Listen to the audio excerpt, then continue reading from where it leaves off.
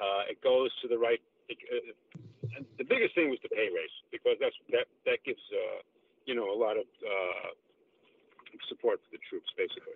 Well, we, we seem to be reliving past history and, and slavery.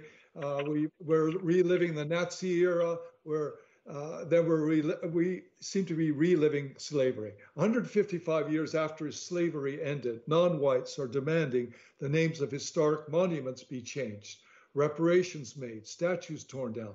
Portland, Oregon is still an infected abscess. Your thoughts on BLM, whiteness, white guilt, white privilege? First of all, BLM on their website claims they are a Marxist trained organization and they have plenty of money George Soros money, millions and millions of dollars.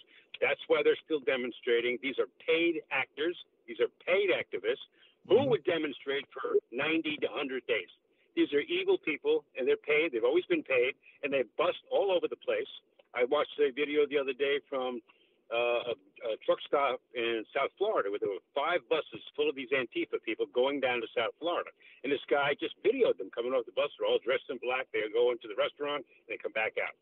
But mm. slavery has been around since the birth of man. And sure. it's still it's still in existence all over the world, especially Africa. Mm. So why don't they go over there and get and, and stop it over there? They can't. And mm. it's all about uh, and it, that this white guilt and this privilege is it's a false narrative. It means nothing, but it's being taught by these leftist professors in college and in the schools.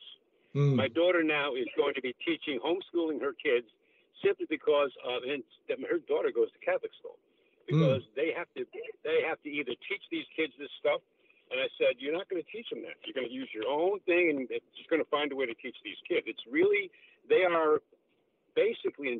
indoctrinating all kids, and that's why you see these crazy college kids, and mm. it's mostly females who do this. Sure. And they yeah. scream and yell, and, and they're they're uh, they're convinced that that they have white guilt, and they don't even know what it is.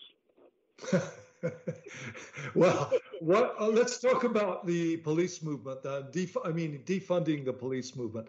Would you be a cop today, or is the answer found in the question? Answer is found in the question, but as a side note, my son-in-law is a New York State trooper, mm. and he's he is retiring within less than a month, which is good. But uh, as you know, anecdotally, he was he had to go to upstate New York. He went to there's a city next to Albany called Troy. He had to go to a couple of riots there, and it was the same thing: defund the police, f the police, f the police.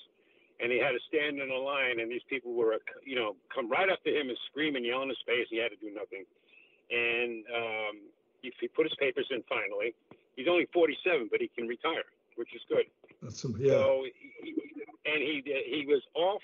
He had so much vacation time. He took off for the whole month of August. Goes back to work. He said he told tells me and my daughter, "Don't worry, I'll be sitting at a desk." His first day back, where do they send him? To a bunch of riots in Saratoga. oh, oh man. So, so I'm glad he's getting out. And he said when he went to the retirement office, right after he went, which when I was up there, they shut down the office. And same thing in New York City. There's so many cops wanting to retire. New York City had to shut the, the office down for almost a month. They wouldn't accept retirement. Sure. I mean, why? Just, yeah, yeah, Why would you want to go into an area like that where uh, people are acting that way against you? And, you know, like what happened just the other day in LA, too.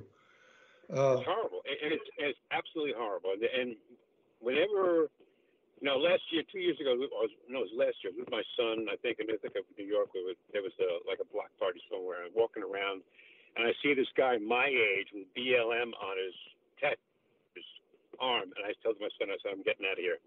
We have to kill this guy because he doesn't. He doesn't even know what he's doing. Because I said they murder police. I told yeah. my son's kind of liberal. I said, so you understand they murder police, and your brother-in-law is a cop, yeah. and he didn't say yeah. anything. So but it's horrible. You're right. Yeah, I, I mean, I, I just was uh, watching the tennis the other day, and uh, it's the girl who won the U.S. Open, uh, Naomi Osaka. She's got a boyfriend. He's a rapper, and he's got defund the police on a black T-shirt.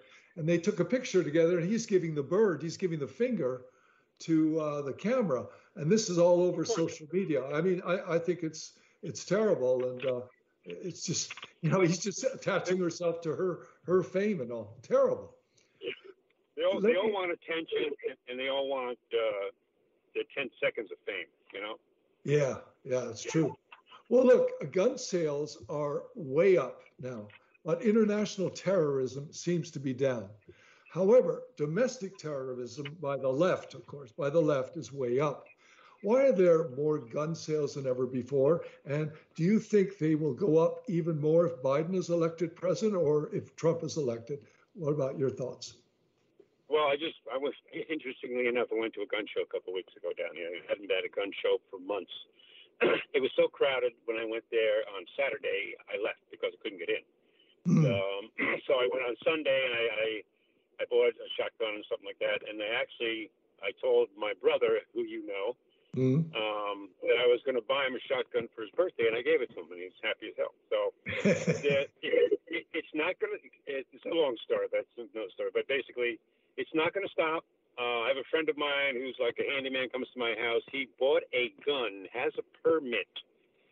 It's taken him four months in Florida to get this gun. He still still doesn't have it. This is unheard of.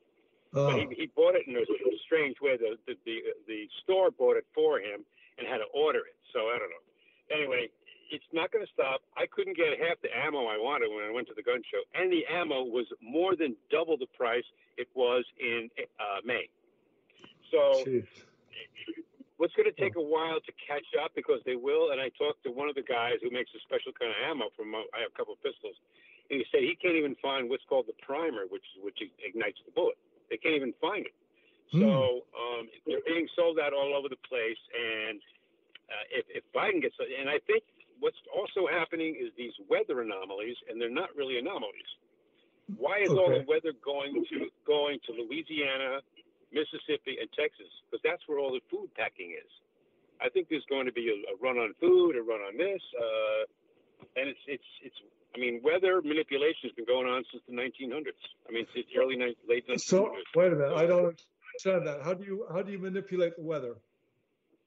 They manipulate it with uh, microwaves, and they steer hurricanes. They can steer it like the one Hurricane Sally was came up the coast, the west coast of Florida Okay. But it all of a sudden veered out towards um, New Orleans.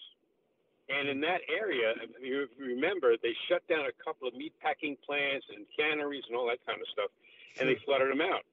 And all of the, and I was watching something on uh, uh, YouTube the other day where this guy was saying fires in the West. There's all sorts of ap- apocalyptic stuff going on, whether you would want to name it that or not but it could be temporary. But the weather is very weird, and. I've never. There was this is the there's something like 46 storms in the Atlantic this season, which is unreal.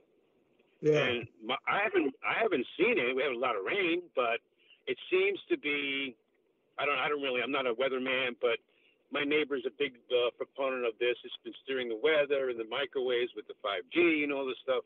So I'm not really sure, but it seems to be the same places seem to be getting hit at the, all, uh, right one after the other, and it happens to be where they produce food or pack food. That's very interesting. Yeah, it's very. I, I hadn't even yeah. thought of that. Then there's then there's Canada. Now Canada doesn't seem to have too many uh, weather problems. Uh, there's nothing going on out there. I mean, no. up there. Uh, because the prime, the prime minister just wants to put on his ballet shoes. That's all. the funny thing is about that prime minister, he's a boxer, you know, and a pretty good one. Oh, so, really? Yeah, he's a boxer. What a, Isn't that funny? conundrum. Yeah, that yeah. is a conundrum. Uh, yeah. now, let's talk about healthcare. You're in the, involved in that and the price of prescription drugs. Uh, Trump just came out to say that he wants to, uh, he signed an order to lower the price of uh, prescription drugs. And he wants, and he also said at the very beginning, when in 2016, he wanted to get the price of healthcare way, way down. Do you think these issues are of importance to the Republican Party? Because ever since John McCain came back from the dead before he died to vote yes on Obamacare and stymie Trump, everybody's health care is costing more. Your thoughts?